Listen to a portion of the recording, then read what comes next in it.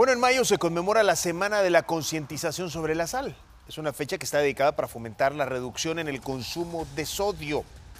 Y en el siguiente reportaje vamos a conocer cuál es el nivel que deberíamos ingerir diariamente de sal si queremos mantenernos saludables.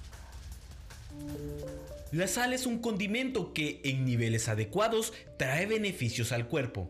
La Organización Mundial de la Salud recomienda una ingesta inferior a 5 gramos al día o 2000 miligramos de sodio, lo cual equivale aproximadamente a una cucharadita. El problema es que nosotros nos imaginamos solo el sal de mesa, la blanquita, pero en realidad cuando hablamos de sodio de 2.300 miligramos tenemos que ver el consumo de todos los alimentos. Al final suman una cantidad determinada de sodio, que eso es lo que tendríamos que evaluar. Sin embargo, consumir este nivel de sal en muchas ocasiones se hace imposible, sobre todo por el estilo de alimentación que se lleva. Es importante leer la etiqueta nutricional para saber la cantidad de sodio que estamos consumiendo, los ingredientes, si ya lleva sal el producto, va a decir sal en los ingredientes, pero un producto se considera bajo en sodio cuando tiene 2% o menos y alto en sodio cuando tiene 20% más. O sea que el enfoque sí tiene que ser en el sodio y ver la cantidad que estamos consumiendo por producto. Y si hacemos la suma, hasta nos podemos asustar de la cantidad de sodio que estamos consumiendo día con día.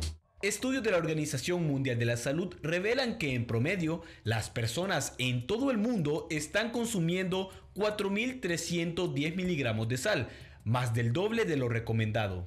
Esto preocupa a las autoridades, ya que al exceso de sodio se le ha relacionado a padecimientos como la hipertensión arterial, cáncer de estómago, empeoramiento de asma, cálculos renales y obesidad.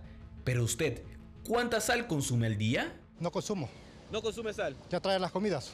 ¿Por qué no consume sal? Porque, bueno, para la salud es malísima. Pero sí, sal siempre se le tiene que poner a la comida, vea. Poquito. Poquito, ¿por qué poquito? Porque sí, porque me gusta la comida simple. ¿Y con sus hijos, sus hermanos, sobrinos, qué les dice sobre el consumo de la sal? Ah, que también, o sea, también se les ha enseñado de que ellos este, utilicen poca sal en las comidas, en los alimentos.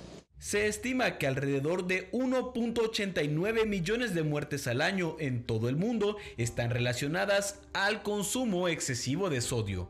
Andrés Sandoval para TL2.